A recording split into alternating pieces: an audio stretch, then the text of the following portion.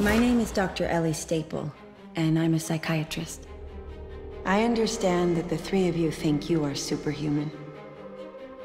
I am here to discuss the possibility that you are mistaken.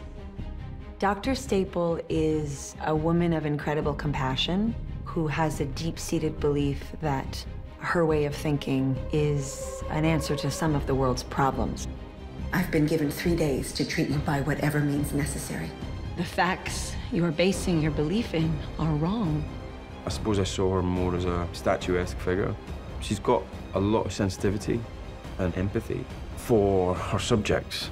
Dr. Ellie Staple specializes in patients that believe they're comic book characters. This is the continuum of belief, of delusions of grandeur that has existed over time because comic books have become this incredible obsession in the world. It's a very fine line between her clinical manner and her need for order and her ability to become incredibly connected to the person she's talking to. Like classical mythology, these stories are about gods amongst us.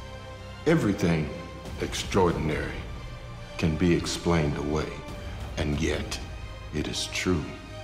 He's still very calculating. He's still strong in his conviction.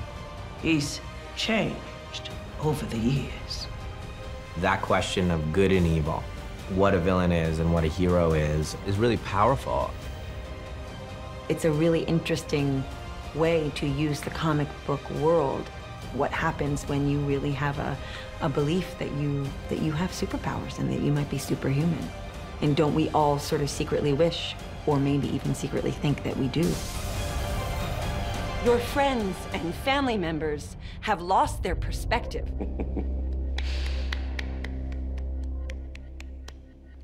You really dissected him, Doctor. Good for you.